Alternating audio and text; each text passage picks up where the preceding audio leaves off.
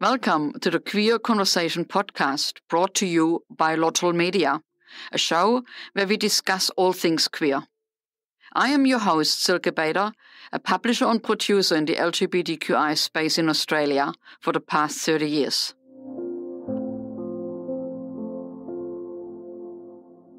In today's queer conversation, we meet Erika Felton, a director, producer, actor, and proudly queer woman who treasures stories that normalize everyday queer characters in a world that we know and love. Stories that make you remember small moments that you didn't think were still accessible deep within your brain, lost in the flurry of important life things.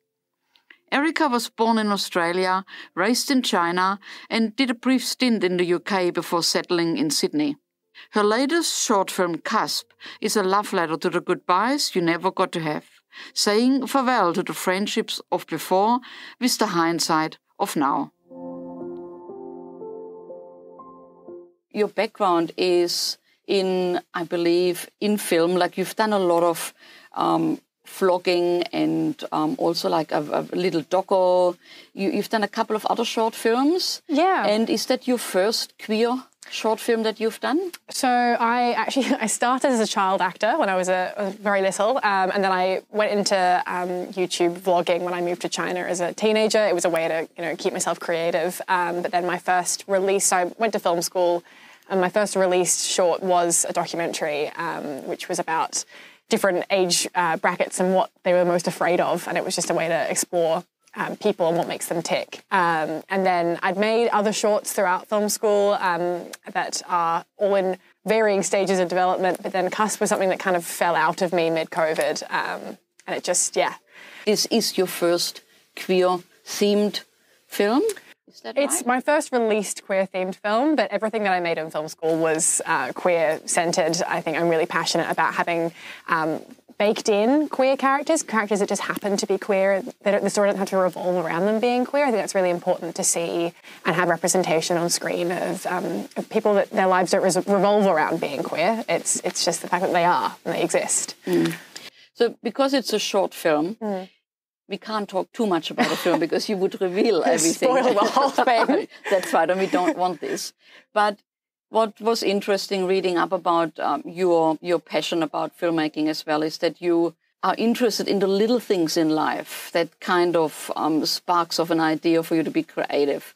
I think so much of I mean cusp, but also just how I how I like to make work is based off of little inciting incidents. So this was actually set and based on and devoted to three women in my life that I have known um, from as young as you know 13, um, and the varying instances where I've had to say goodbye to them in because I moved around so much as a as a young lass, um, and.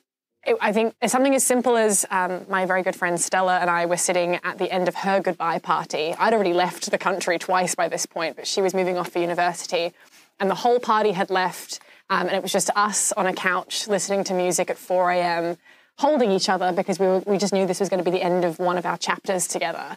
Um, and I think those little tiny inciting incidents are um, where I like to find my creativity and where I want to tell stories.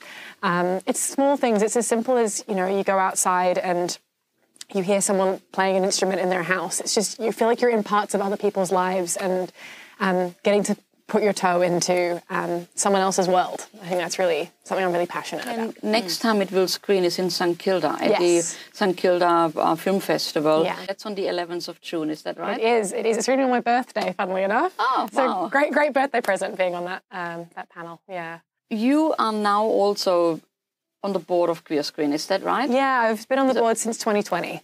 Oh wow, that's that's quite some time yeah. for being on the board. Yeah. And one thing that I was really interested in talking mm. to you about, you looked after the the pitch at one off, stage, yeah. or you're, you're doing you're still doing it. I'm not yeah. sure. Yep.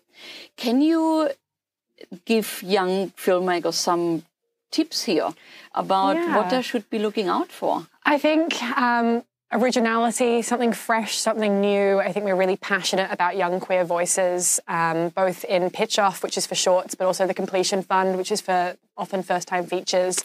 Um, we're just, yeah, really passionate about seeing um, new stories, new people, new voices, something um, snappy. I think, particularly in Pitch Off, the shorts, you know, you don't have to go on for 12, 20, 12 to 20 minutes. You can go as short as four, six. Something that really punches you and gets you going, I think, is really, um, really, it really excites us when we see those come through the um, submissions.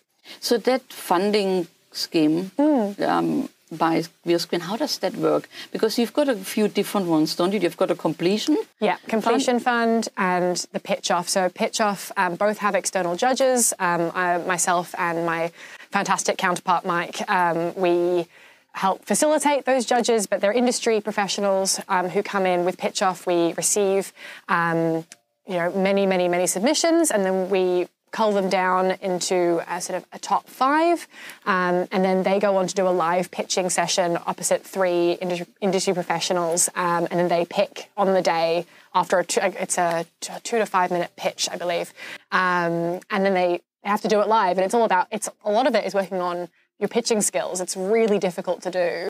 Um, whereas completion fund is we see full packages, um, rough cuts, um, budgets, the full works, and then again, um, some judges will come in and um, allocate um, up to I think the last one was up to twenty thousand dollars to help finish off the edit or get marketing material going.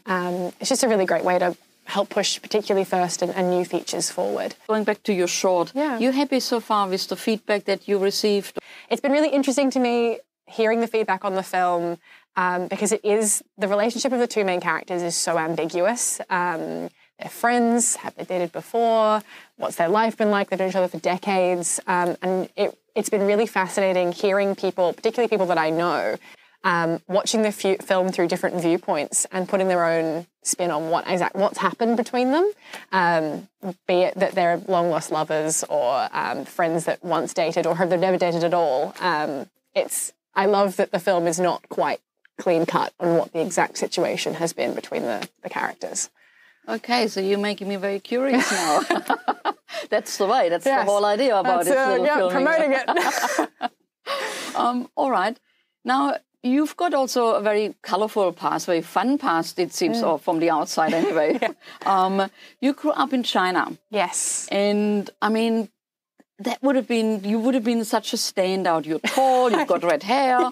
It's like, um, how was that? It was amazing. I would not. I often say I would not change how I grew up for the world. I was very, very privileged. Um, my dad moved us over there um, for work. I moved when I was thirteen, um, so I really had all my formative teenage years um, in an international school with you know over forty-five different countries represented around me. So you just you get to know so many different kinds of people.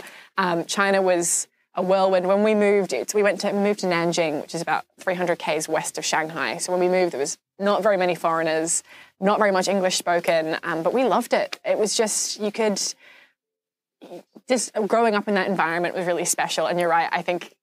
I could not leave the house without getting stopped uh, for a photograph, which felt so bizarre. Um, I've held many strangers' babies um, for photographs. It's just so lovely, and meeting these people. And as my Mandarin got better, um, you know, trying to have conversations with people. Um, yeah, I it was just the most fantastic way to grow up. I, I was really curious to talk to you about that because I guess um, for most people here, all we hear about China is through the news, which Yeah. is not very good. Yeah. And um, it's it's. I always wondered what it was like for somebody to actually, you know, live there as a Yeah. Westerners and to experience the, the culture differently than just going there on a holiday or. Yeah, it's it's it's wonderful. The country is beautiful. Um, it's just yeah. I think I only have positive things to say. It's just it's such a fantastic place. To Would you up. easily go back? I, I think I would happily go back. Um, look, maybe maybe not to live at this point because I spent so long there. Um, but I often think about when when the next time I'll be able to go back is. I actually there was a film that I made um, about the town that I grew up in um, called This Is Nanjing, and I got flown out to Beijing to go to a film festival where it played, um, and it was really surreal having made this film about this town that I so dearly loved, um, and being able to go back over to China to watch it and play it amongst. Um, it was for the Foreigners on China film competition, and it was just fantastic just to be around other filmmakers. That would be. I mean, that's that would be. There's an incredible, um, if you can call it so, competitive edge against. You mentioned before when you pitch, right? You need to have something unique and Yeah. special, and you having lived in China, Yeah. that is something that is really unique and special. Not many Western filmmakers have that experience. Yeah, it was. It was really. I found it really hard making that film, that documentary, because I spent five years there. My family spent eight years there, um, and I'd go back a lot. And I actually made it um, two years after I'd left. I came back for a for Christmas or something, um, and went around and shot the film with with an old school friend of mine who happened to be there at the same time. Um, and I found it really hard trying to articulate your love for somewhere when it was your home. It's it's not just trying to showcase somewhere I went on a holiday. It's how do you how do you get all those little tiny things that make up a home. But yeah, it's it's one of my favorite things I've ever made. I think it really captures what I think of when I think of Nanjing. Did you experience queer life in China?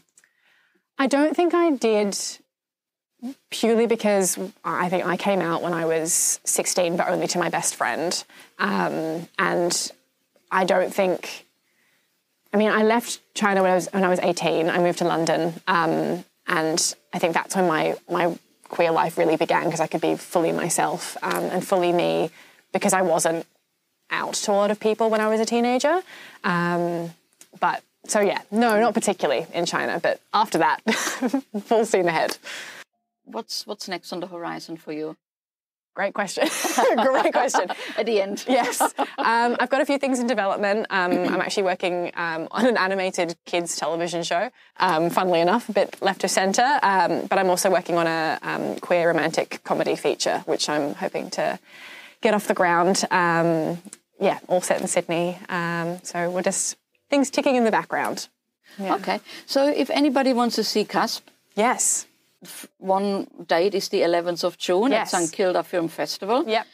Any other ways to be able to see it when if you're not in Melbourne? Um, I think, yeah, so St Kilda Film Festival, June 11th at 2 p.m. Um, otherwise, follow Cusp Film on Instagram. All of our announcements go up there. Um, or they can follow me, Redhead Abroad. Um, um, we put all of our updates up there, and hopefully, we'll have some more announcements on the way soon. Okay. Yeah. Well, thank you very much for coming in. Thank you so much. It was for a pleasure me. talking to you. My pleasure. Thank you.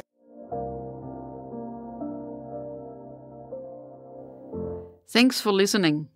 If you enjoyed this episode and you would like to help support the podcast, please share it with others, post about it on social media, or leave a rating and review.